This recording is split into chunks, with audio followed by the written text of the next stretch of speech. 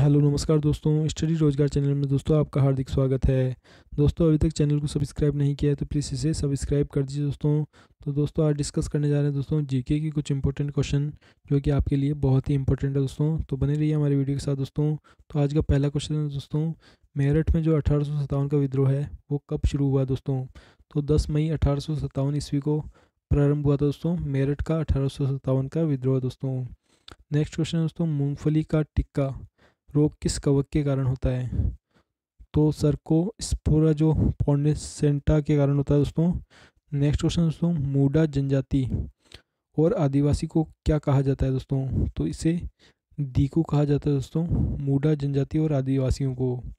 Next question की बात करें तो मुखिया बनने के लिए न्यूनतम उम्र कितनी होनी चाहिए दोस्तों? तो 21 वर्ष की आयु होनी चाहिए दोस्तों, मुखिया बनने के लिए दोस्तों। नेक्स्ट क्वेश्चन दोस्तों मीथेन जिसके वायुमंडल में उपस्थित है, वह है। बृहस्पति जो ग्रह है, उसके अंदर मिथेन प्रचुर मात्रा के अंदर पाई जाती है, दोस्तों। नेक्स्ट क्वेश्चन है, दोस्तों। मानव समाज में के निवास के लिए रेखीय व्यवस्था किसने दी थी? तो स्पेंसर ने दी थी, दोस्तों, मानव समाज के अंदर निवास की रेखीय व्यवस्था। नेक्स्ट क्वेश्चन की हम बात करें तो हमारा नेक्स्ट क्वेश्चन है, दोस्तों। माध्यम जिसमें ध्वनि का वेग सबसे अधिक होता है तो ठोस माध्यम के अंदर सबसे अधिक वेग होता है दोस्तों ध्वनि का। नेक्स्ट क्वेश्चन है दोस्तों, महिंद्रा समूह व रिको के संयोग से कहाँ विशेष आर्थिक क्षेत्र स्थापित किया गया दोस्तों? तो जो राजस्थान की जो राजधानी है जयपुर, वहाँ पर महिंद्रा समूह व रिको के संयोग से एक विशेष क्षेत्र स्थापित किया गया दोस्तों।